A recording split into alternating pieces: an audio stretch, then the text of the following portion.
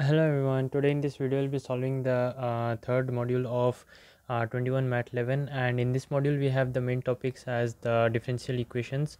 So the first topic is the linear and bernoulli's differential equation.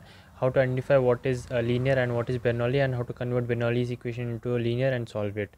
And the second one is the exact and reducible to exact okay?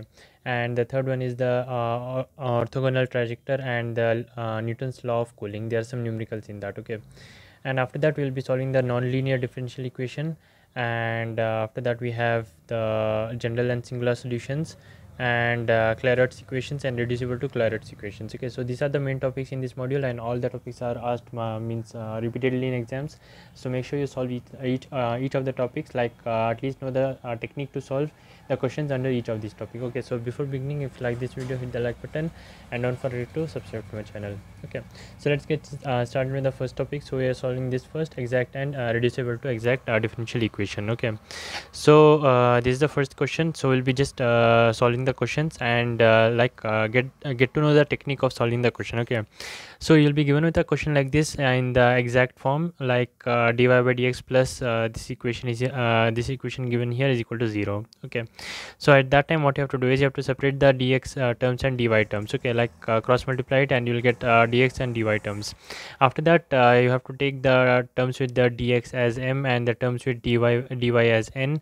And after that separate m and n. Okay after you have written m and n you have to do dm by dy and del n by del x means partially differentiate m with respect respect to y and partially differentiate uh, n with respect to x okay? So if, if you get the same answer that's the exact form okay?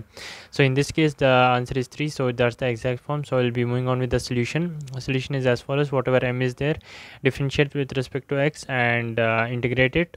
And uh, n of y means only the y terms which you find that you have to write here and uh, integrate it okay? After that what answer you get is your final answer okay this is the exact form. Now reducible to exact form how it will come? Is the same thing everything here? The dx and dy terms you have separated here and you'll be taking m and n and we'll be differentiating partially with respect to y for m and partially differentiating n with respect to x and the answers you get are not same. In case they are not same you have to make it same okay? So how to make it same is that subtract it and what answer you get? And uh, that answer you see which uh, which uh, which of the n or uh, m it is close to. If you take 2 common from here at that time uh, what answer you get is 2 into x plus y. And here uh, if you take uh, 2 as common what you get is 2x plus 3y right? So the, uh, those are the two answers which you get when you take the uh, common terms. And uh, the n term is actually um, x into x plus 2y right? That is the n term so uh, you have to see n term is more closer or n term is uh, m term is more closer. In this case m term is more uh, n term is more closer. So what you will do is you will be writing 1 by n and the subtractions uh, value here okay. After that uh, when you uh, like uh, cancel the n term with the numerator you will be remaining with 2 by x. Okay that is f of x. Once you have got f of x you have to find the integrating factor which is e power integral f of x dx. So integrating uh, means uh, finding out its uh, solution what you get is e power log of x square. That is nothing but x square. Okay so integrating factor once we have got find out the solution means uh, just multiply the integrating factor term with the m and the n terms here. So when you multiply that and again find the del m by del y and del, uh, del n by del x you will get the same answers here. So the equation is in uh, exact differential equation and then we'll be uh, solving the solution here. Means uh, writing down the m term here and integrating with respect to x and writing down the y terms in n and uh, differentiating with uh, i mean integrating it with uh, respect to y. So in this case there is no uh, n term which has only y in it uh, only y in it. So we'll be not writing anything here. So just integrating this one and means solving it we'll get the final answer here. Okay th so those are the two types of questions exact and reducible to exact. Okay so if you did not understand what's happening you can always replay and watch again the explanation. Okay moving on we have the next uh, the uh, next topic which is linear and bernoulli's differential equation. So first question is about the linear equation. How can we identify if it's a linear equation? Observe carefully. This is uh, q and uh, this is p and it is dy by dx okay? So uh, with q if there is x here uh, that's okay. But if y also comes that is the bernoulli's equation okay? Only x should be there then it's fine if it is dy by dx so it is the uh, linear form. In linear form what we will do is this is p and this is q. So it should be in this form dy by dx plus p of x uh, into y is equal to q of x. So uh, take the value of p and q here and after we get the value of p and q find out the integrating factor as we have done before. After finding out the integrating factor the solution is y into f is equal to integral q uh, means integral q of x uh, into integrating factor dx. Okay when you substitute the values and uh, find out the integration you'll get the final answer here. This is in the this is of the form the linear okay? How does uh, bernoulli's uh, form occur? In the bernoulli's form you'll have uh, y square here okay? In, instead of just x, x here for dy by dx you'll have y square also. So what you're supposed to do to remove this y square is that divide the whole equation by y square.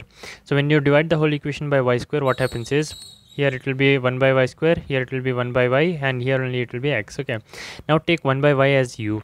If you take 1 by y as u it will be here u by x and here it will be uh, u square dy by dx right and you will be differentiating it uh, so what you get is minus 1 by y square dy by dx is equal to du by dx okay?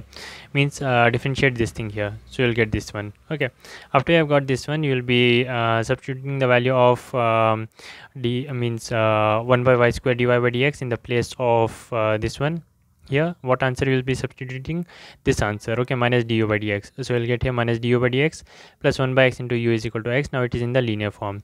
Rearranging the terms and finding out the p and q terms then finding out the integrating integrating factor and then uh, multiplying it with the solution like uh, u into if is equal to q dash x uh, integrating factor dx plus c. Here the only difference is that since we have uh, chosen integrating factor so it will be having the integrating factor here. And since since uh, since it's in the second form it will be q dash okay instead of q. But if you know the value it doesn't make any difference okay? So uh, that's all. Uh, we have to just integrate it and find the solution and simplify to get the final answer okay? So these were the two forms linear and bernoulli's equation okay Moving on to the next one, we have orthogonal trajectories and Newton's uh, law of cooling. In orthogonal trajectories, we will be given with a parabolic equation or an equation in the form of y is equal to something where a is the parameter. Okay, now what you have to do is differentiate uh, with respect to x first. After that, uh, what answer you get here? 2y dy by dx is equal to 4a. Now, uh, since y, is, y square is equal to 4ax, instead of 4a, I can write this one, right? What I mean is, y square is equal to 4ax instead of 4 i will cut it and write this one. So what i get is y square is equal to 2y dy by dx into x. Okay. Then uh, it's the simplification part. And uh, what we are doing is to find out its uh, uh, means orthogonal trajectory what you have to do is you have to substitute y1 is equal to minus 1 by y1 okay like that we have to do. So it will be like this. dy by dx is equal to minus dx by dy. Wherever you find dy by dx substitute uh, substitute it as minus dx by dy. After that uh, simplify it and what answer you get is your final answer. Okay. So another example here what you have to do is uh, this equation is given and prove that it's a self orthogonal where a is the parameter. Same thing write y here differentiate um, uh, with respect to x and what answer you get? Substitute for uh, for a here and simplify it so what answer you get is a is equal to this value. Okay. Now instead of 4 uh, a instead of a you will be writing this one so that uh, the a term goes and you'll be solving this one. Okay. When you solve this one what answer you get is um, uh, y dash is equal to 1 by y dash okay minus 1 by y dash. It is actually minus 1 by y dash and we substitute this one here. And wherever you find uh, y dash here substitute that as minus y, uh, 1 by y dash and uh, find out the answer. When you find out the answer what uh, finally you get is this answer here. And if you observe carefully the third uh, equation and the second equation are exactly same. So if they are same even after substituting the value of y dash as 1 by y dash at that time you can say that it is a self orthogonal okay. That's what we have to prove self orthogonal so these are the two types of question under the topic orthogonal trajectories and uh, moving on we have the newton's law of cooling so let's understand that uh, by an example so Newton's law of cooling, uh, cooling, what does it state? The rate of temperature of a body is directly proportional to the difference between the temperature of the body and its surrounding. Okay, so the more the difference is, the rate of the temperature falling or increasing will be more. Okay, so dt by uh, the temperature by time is directly proportional to the difference. So here k is the constant and uh, integrating it and uh, taking the log we get the equation which we'll be using in the numerical so t is equal to t naught initial temperature plus lambda is the constant e power minus kt suppose that there's a copper ball at 80 degrees celsius cools down to 60 degrees celsius in 20 minutes okay? So what is the change in temperature? 80 to 60 it is 20 degree in uh, how much time? 20 minute if the temperature of the surrounding being uh, 40 degrees celsius the uh, temperature of the surrounding is 40 degree what will be the temperature on the ball if the uh, means after 40 minutes from the original okay? So the temperature of the surrounding is t naught which is 40 degree and the temperature of the copper ball from uh, where to where it is um, 80 to 60 so according to newton's law t is equal to t naught uh, plus lambda into e power minus kt so here t naught is equal to 40 and lambda kt will be as follows and t will be as follows okay? So the given the temperature of the ball t is equal to 80 degree at t is equal to 0 so we'll be writing 0 is equal to 40 into uh, lambda into e power minus kt since t is 0 e power 0 is 1 so we'll just have lambda here okay? So lambda's value will get as 40 and that value will be using in the next equation.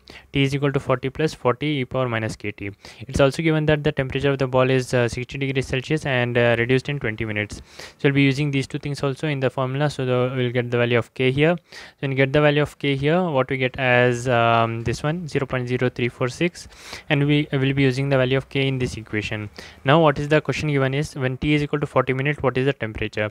Just substitute 40 in this uh, value of t here and all the other terms are known to us. So we can easily calculate what is the temperature. So here the temperature we get it as um, 50.023 degrees celsius okay? So if you know the uh, if you know the formula and the terms used in it very well you can easily solve any of the newton's uh, cooling um, means a law of questions okay let's move on to the next one which is nonlinear uh, differential equation. So here the uh, differential equation will be as follows. Like dy by dx will be having a square or uh, it will be in the equation as uh, like it uh, usually it is y right? Here it will be having dy by dx also. So how to solve is that uh, first take dy by dx as p. After taking it as p just write the equation in the form like instead of dy by dx write p there. And after you get it in this form means um, factorize it. After you factorize you'll get two terms here equate it to 0 so two answers you will get p is equal to 1 and p is equal to minus xy solve for each of these. If p is equal to 1 dy by dx is equal to 1 right? So integrate it separately and what answer you get is the first answer. Second answer also will do in the similar way and what answer you get is the second answer. Total answer is nothing but uh, answer 1 into answer 2 okay that is equal to 0 that's the final answer so in all types of uh, nonlinear differential equation, this is the same thing. You will follow dy by dx. You have to write p and solve the equation, and finally, uh, what answers you get? Multiply it. Okay? Moving on to the next one which is uh, Clairaut's equation and its singular form. So here two types of question can come just the Clairaut's equation or the reducible to Clairaut's equation okay? So let's solve the first one which is the uh, direct uh, Clairaut's equation. So here uh, find the general and singular solution of the Clairaut's equation y is equal to px plus a by p so here it's of the form uh, uh, px plus f of p because px is here and f of p is because a by p is there. So the general solution will be uh, replace wherever you have p as uh, c. Okay. After that differentiate with respect to c. What answer you get here is uh, like c is equal to uh, root a by x and the singular solution will be just replacing the wherever you uh, have c here in the equation they, they uh, replace it as uh, root a by x. So the main equation of Clairaut's equation is that uh, removal of the uh, other terms like p and all okay just having the x terms okay. And for this simplification will give us the following equation which is y square is equal to 4a square x square okay now this is the second type of question which is the reduce the equation px minus y and py plus x equal to 2p to the Clairaut's form by taking the substitution x is equal to x square and y is equal to y square here you have to pay some attention okay? So listen carefully what's happening. So this is the equation which is given to us. Px minus y py plus x is equal to 2p okay? Now it's given x is equal to x square and y is equal to y square. Differentiate both of these what you will get is uh, dy by dx is, uh, is, is uh, dy by dy is equal to 2y dx by dx is equal to uh, 2x this with respect to x and this with, uh, with respect to y okay? After that take uh, dy by dx as p as usual and divide the equation 4 by uh, 5 by 4 so divide these both equation what you get is dy by dx is equal to uh, y by x dy by dx. Okay. After that dy by dx can be written as p and this is nothing but the p which is needed to be finded and uh, since we have taken uh, y is equal to y square x is equal to x square so if we take the roots here what answer we get is root y by root x. Okay. Root y by root x here for these two x's new x. Okay and uh, we'll get the p value as root xy into p. We'll be substituting this value here in wherever we find p in the equation and after that uh, we'll be simplifying the equation. After simplification we'll get this answer here the reduced form. So in this reduced form substitute the value of p as c and uh, yeah that's all what you have to do and square the equation. So we'll get this answer. Actually we are not squaring but uh, replacing x by x square. Okay means uh, it's given in the question right? Take the value of x as x square and y as y square. We are just resubstituting the uh, values which you have taken. So when you do that we'll get this answer here. C uh, y square is equal to cx square plus uh, minus 2c by c plus 1 okay so that's all about the uh, two types of Clairaut's equation. One is direct other is the reducible and solving. Now the last uh, topic is the theoretical topic as well as one derivation is there which is the flow of electricity lr circuits. So each electrical circuit have three elements which is resistance inductance and capacitance. Active element uh, uh voltage source with uemf uemf uh, E and the current I at uh, any time t. So uh, the question uh, can be as follows in the exam. A series of resistance, inductance and EMF is governed by dE, Li, L di by dt plus Ri is equal to E. Well, where Lr are constant and initial at the initially the current is 0 find the current at any time t so first thing what you have to do here is that given resistance is uh, between the current um, resistance and the inductance e is equal to l uh, di by dt plus ri is equal to e then uh, we have to just uh, write the equation here and rearrange it. So we'll get the answer as um, like uh, di by dt will be here only and e will be means l will be forwarded to here. And it will be divided by um, r also. So what we basically did is divide the whole equation by l. So after we do that we'll get the value of p and q. This is of the form dy by dx plus p uh, y is equal to q. So they will get the value of p and q. Find out the integrating factor answer and uh, substitute the value in i. Like uh, i into integrating factor is equal to integral q into dx. So instead of x we have t here. So we'll just uh, find out the normal integration and uh, what answer we get is the final answer. And initially it's given that i is equal to 0 and t is equal to 0 substitute those values to get the value of constant k. And after that uh, we'll be using that value of k which we got here in the main equation. Okay.